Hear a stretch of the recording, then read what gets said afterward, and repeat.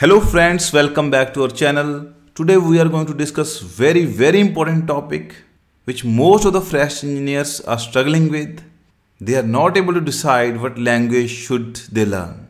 Should they learn Verilog or should they learn VHDL? Almost all the fresh engineers are confused and they don't have any concrete answer to this question. Whenever they discuss it with industry people, someone say in my company we are using VHDL and some of them say we are using Verilog. So learn Verilog.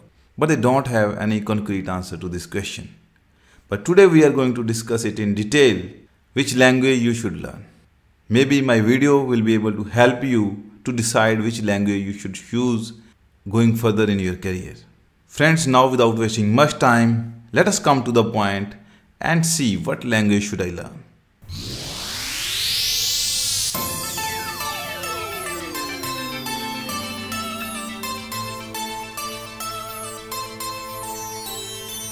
Verilog or VHDL.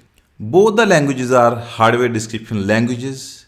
That means both the languages have relevant syntaxes to define our hardware. Then how should I choose what language should I learn? While going deep into the discussion, we will keep two points in our mind. The first point is its demand.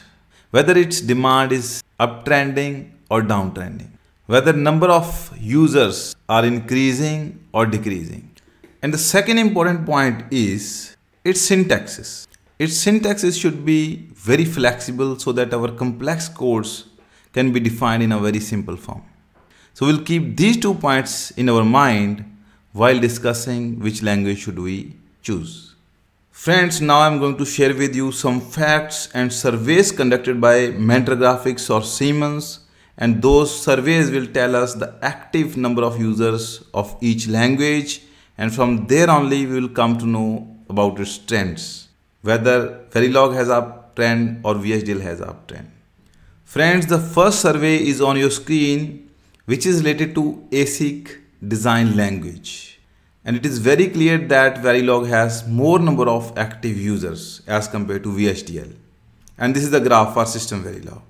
The first bar is 2012, second is 2016 Third one is year 2020 and this blue one is year 2021. You see active VHDL users are reducing. Similarly, if you see Verilog, Verilog also showing the downtrend. But very important point, this system Verilog which is add-on to the Verilog language which is superset of this Verilog language has an exponential upward trend. From here, anyone can deduce that why to learn VHDL? Why to learn Verilog? Let us directly go to System Verilog. But personally, I will not recommend that because System Verilog is a very advanced version of the language which has very advanced syntaxes which may not be required at the fresh level. So for a fresh engineer, I will recommend to learn Verilog first. And the more important point is all the Verilog syntaxes are included in System Verilog as well. So if you study Verilog first, that is not a waste. All the syntaxes are going to be used in System Verilog. And once you learned Verilog language and then you start System Verilog, you will better appreciate all the add-ons features in System Verilog. Now let us see some other surveys conducted by the same company, Siemens or Mentor Graphics. So the second survey is about FPGA design language. And from this survey, it is very clear that VHDL has more number of users as compared to Verilog language. But if we see the trend, VHDL has exponentially falling trend. But where Verilog is gaining its active number of users. The first bar represents year 2012 and the third bar represents year 2020 and the fourth bar represents year 2021.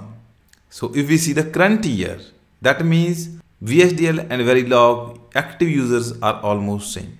But now let us see the system Verilog. System Verilog is always in an upward trend.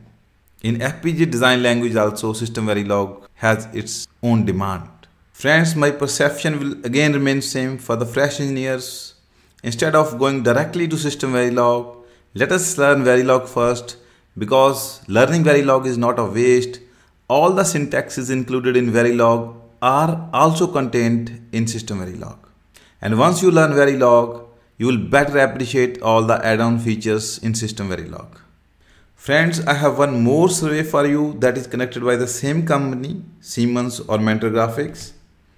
Here they have not decided on the basis of ASIC language or FPGA language, but these graphs are on the basis of active users of each language. If you see the VHDL language, VHDL is exponentially decreasing. That means number of active users are exponentially decreasing. For Verilog also we see that some of the users are reducing because number of users in system Verilog are increasing. But again my perception will remain same. Fresh engineers can learn Verilog first and then can jump into system Verilog. From these surveys you can very easily deduce that which language you should learn. And with this I'm going to end this video and I hope that this would be quite informative for all of you and it will really help you to choose the language of your choice. And in future also we are going to create many such videos. So to be aligned with our channel, don't forget to subscribe it and press the bell icon to get a notification of all the upcoming videos. Thank you so much for watching.